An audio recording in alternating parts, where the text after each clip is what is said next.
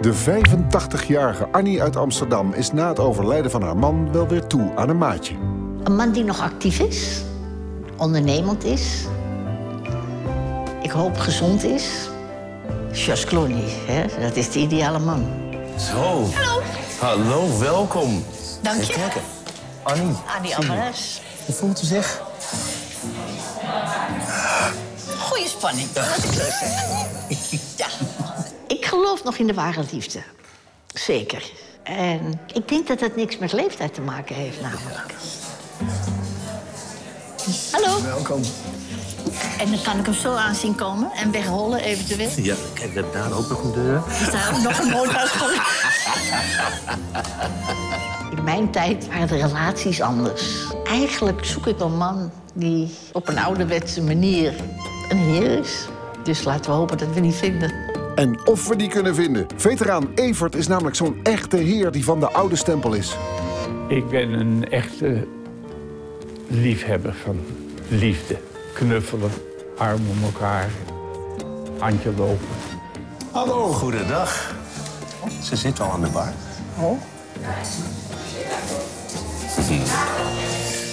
Ik ga van mijn kruk komen. Nee, blijf maar lekker zitten. Dank je. Hallo. Hoi. Evert is de naam. Evert, en mijn naam is Annie. Annie. Nog een Dat makkelijk. is niet zo moeilijk. Nee, daarom. Je weet eh, niet wat je verwachten kan. En Annie viel mij niet tegen. Waar kom jij vandaan? Ik kom uit Amsterdam, dus Amsterdam. bij mij is het een thuiswedstrijd. Ja, Ja. daarom. Nou, Zo. ik ben oorspronkelijk ook Amsterdammer. Dag heer. Hoe gaat het vanavond? Nou, prima hoor.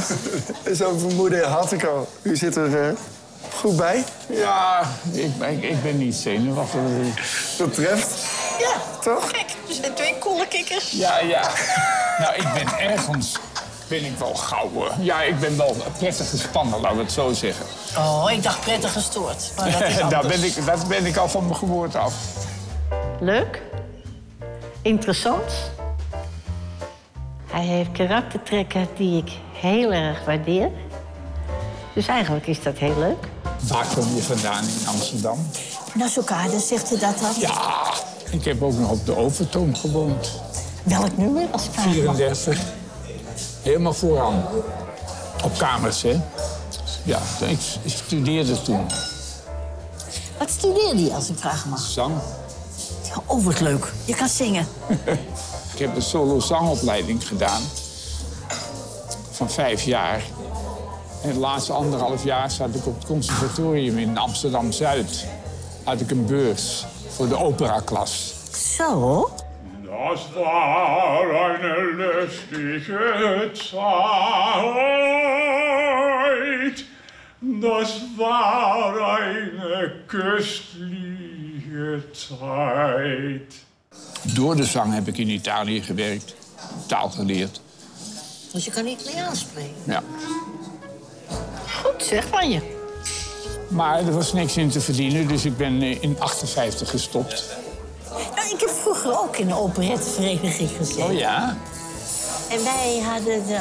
Ik vind het een onbekende operette. Kri-kri. Zegt je dat wel? Nee. Mijn lievelingsoperette is Das Land des Lächeln. Ah ja, dat is Van ook wel Frans mooi. Ja. Dat vind ik zo. Dein is mijn ganzes Herz. Nieder. Ja, dat, Ja, en dan erger ik me dood. Dat is niet voor Bas. Ach, Voor tenor. Dat is voor tenor, ja. Wat is het dat hij zo knap is?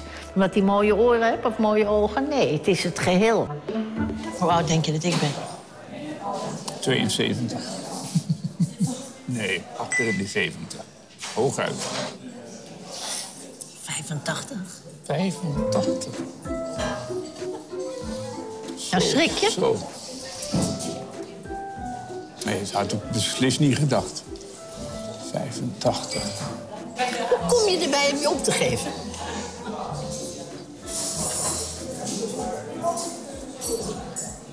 Mijn vrouw is nu ruim vier jaar geleden overleden. Wij waren bijna 55 jaar getrouwd. Heel goed huwelijk. Weliswaar ups en downs natuurlijk. Maar alles bij elkaar was het toch, ja. Maar ja. Het is nu 4,5 jaar geleden. Bijna.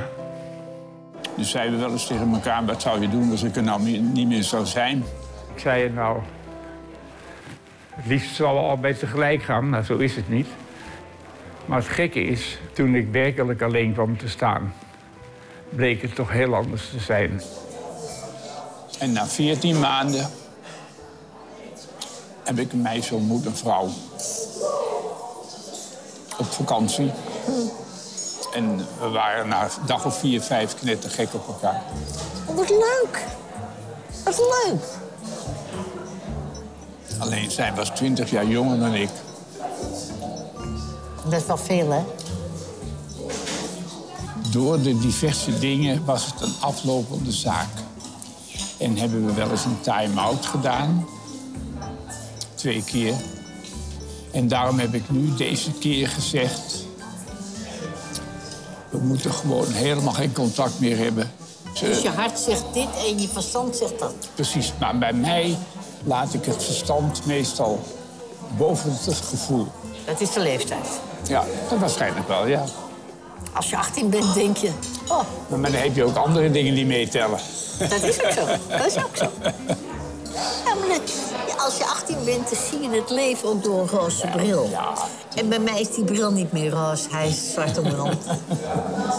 ja, het is zo, toch? Ben je al lang alleen?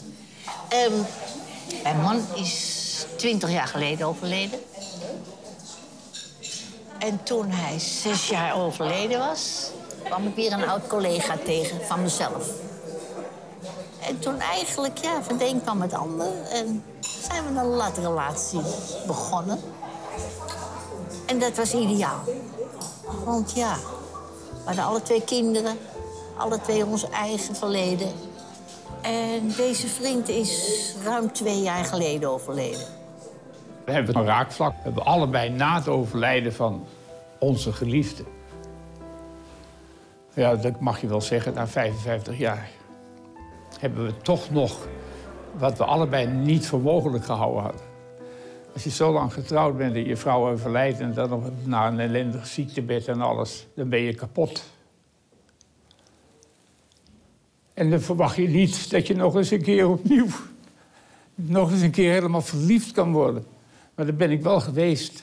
En ik sluit niet uit dat het nog kan komen, want... ik ben eh, young at heart, zoals het zo mooi heet. En hoop je nog wel dat je nog eens een leuk contact krijgt? Ja. Ik zit niet te vissen voor mezelf. En ik denk dat ik daarvoor opensta, ja. Waarom niet? 85, dat is niet te geloven. Nee, niemand gelooft het, hoor. Zelfs mijn huisarts niet, die zegt... Ja. Ga lekker eten. Ja, Albessen zijn het, geloof ik, hè? Die moet je afritsen en dan een heleboel suiker erbij. Ik gebruik heel weinig suiker, ook al voor de lijn, hoor. Je wordt zo dik als je ouder wordt, hè. Je buik. kijk je mij dan aan. Nee, ik. Zo goed heb ik nog niet naar je kunnen kijken. Waarom niet? Er zit een tafel tussen.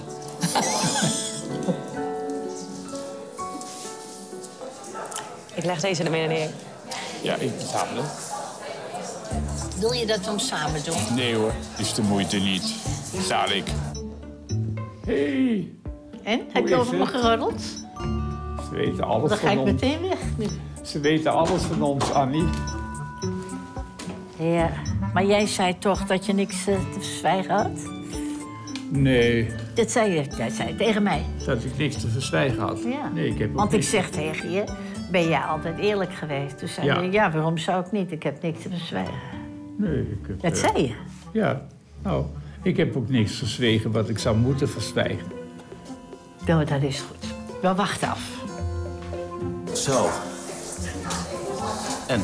Uw Ja, jas? goeie jas. De allerbelangrijkste vraag is... Nou, jij eerst, weet je wel, zeggen ze dan. Oh ja, nee. Ladies first. Jij gaat eerst. Dank u wel. Ja. Graag. Vind ik wel heel lief klinken. Ja hoor, ik wil je nog wel een keertje zien. Eén keertje. Dat weet ik niet, het En hangt er vanaf. daarna Het hangt er vanaf hoe je je gedraagt. zeggen de Italianen... Vediamo. We zullen zien.